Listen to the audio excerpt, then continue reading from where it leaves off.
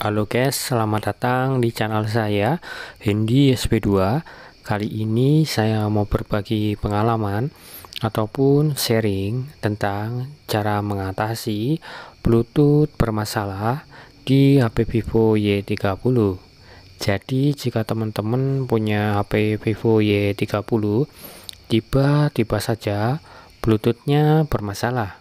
Seperti tidak bisa connect ataupun tidak mau aktif ataupun tidak muncul ataupun permasalahan lainnya.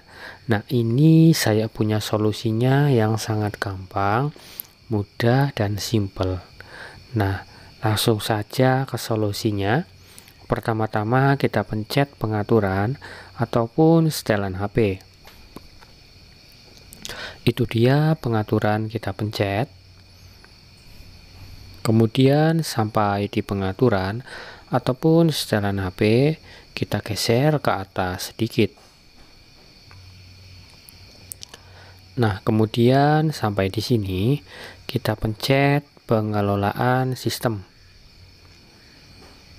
Nah ini dia pengelolaan sistem kita pencet. Kemudian sampai di sini kita geser ke atas sedikit Kemudian sampai di sini kita pencet buat cadangan dan atur ulang.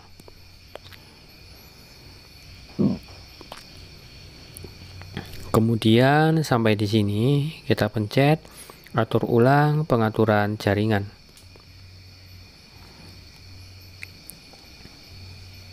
Kemudian sampai di sini kita pencet setel ulang setelan yang berwarna biru. Kemudian sampai di sini kita masukkan sandi layar HP-nya jika ada sandi layar HP-nya. Namun jika tidak ada langsung lanjut saja. Kemudian kita pencet setel ulang setelan yang berwarna merah. Nah, jika sudah selesai seperti ini, silakan matikan HP-nya sampai benar-benar mati. Nanti HP-nya kalau sudah benar-benar mati, barulah kita nyalakan kembali HP-nya ataupun kita hidupkan kembali HP-nya nanti HP-nya kalau sudah benar-benar hidup silakan dites lagi Bluetooth-nya dijamin insya Allah akan normal.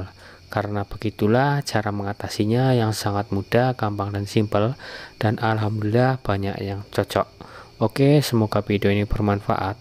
Terima kasih sudah menonton. Dadah guys